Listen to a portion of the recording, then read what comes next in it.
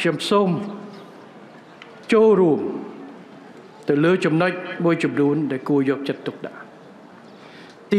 1សូមបន្តសូមលើកទឹកចិត្តឲ្យមានការបន្តស្រាវជ្រាវចងក្រងនៅឯកសារពាក់ព័ន្ធនឹងនយោបាយជ្រះជ្រះនិងដំណើរការពាក់ព័ន្ធនឹងការស្វែងរកសន្តិភាពនិងការបញ្ចប់សង្គ្រាមនៅកម្ពុជា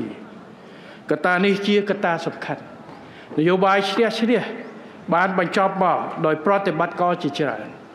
អាដាមនីអាដាមស្រីនឹមសវត្តទៅក្រុមការងារបានខិតខំស្រាវជ្រាវចងក្រងសម្ដេចបច្ចេកសេនានិងតួអង្គជាច្រើនរួមជាមួយសម្ដេចតេជោបានផ្ដល់នូវធាតុផ្សំជាច្រើនហើយប៉ុន្តែខ្ញុំគិតថាបទពិសោធន៍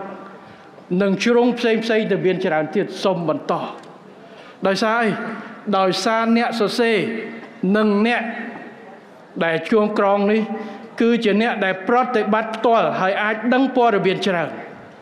ដែលត្រូវការប្រមូលធាតុផ្សំបន្ថែមទៀតដើម្បីចងក្រងទុកឲ្យកូនចៅរាប់រយឆ្នាំទៀតបើមិនចឹងទេនៅក្នុង20 30ឆ្នាំ50ឆ្នាំទៀតឯកសារថ្មីគឺបានត្រឹមតែអ្នកសរសេរពីការស្រាវជ្រាវបន្តចឹងគឺសូមបន្តស្រាវជ្រាវយកចិត្តទុកដាក់បន្ថែមទៅលើកិច្ចការគិទីទី2បន្តផ្សព្វផ្សាយខ្លឹមសារគោលនយោបាយឈ្នះឈ្នះតាមរយៈការធ្វើសិក្ខាសាលាវេទិកាផ្សេងផ្សេង ក៏ដូចជាបញ្ជ្រាបខ្លឹមសារប្រវត្តិសាស្ត្រពាក់ព័ន្ធនឹងនយោបាយឈ្នះឈ្នះចូលនៅក្នុងកម្មវិធីសិក្សាដើម្បីឲ្យសិស្សសារុសិស្សបានយល់កាន់តែស៊ីជម្រៅនិងស្គាល់តម្លៃនៃនយោបាយឈ្នះឈ្នះផងដែរទី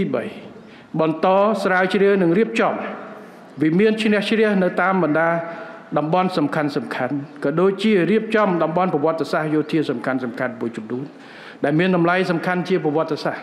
សម្រាប់ជាទឹកតាមប្រវត្តិសាស្ត្រនិងសម្រាប់ការធ្វើទស្សនកិច្ចសិក្សាទី4យកចិត្តទុកដាក់ក្នុងការគៀកោនិងស្វែងរកដៃគូក្នុងការកសាងថែទាំវិវាទជ្រះជ្រះដែលជានិមិត្តរូបនៃសន្តិភាពរបស់ប្រទេសយើងហើយខ្ញុំសូមក៏សូមអំពាវនាវផងដែរដល់បណ្ដាសពរដ្ឋទុនអ្នកអញ្ញាលោកអញ្ញាបងប្អូនសពរដ្ឋជនប្រជាពលរដ្ឋទាំងអស់ដើម្បីចូលរួមជួយឧបត្ថម្ភគ្រប់គ្រងដល់កិច្ចការងារនេះបន្តទៀត ហើយខ្ញុំក៏សូមថ្លែងអំណរគុណសារជាថ្មីចំពោះការខិតខំទៅដល់ថ្នាក់ដឹកនាំនៅក្នុងគណៈកម្មការសាសង្ឃក៏ដូចជាការចូលរួមរបស់ប្រជាពលរដ្ឋយើង គ្រប់និន្នាការគ្រប់មជ្ឈដ្ឋានទាំងអស់នៅក្នុងការកសាងនៅ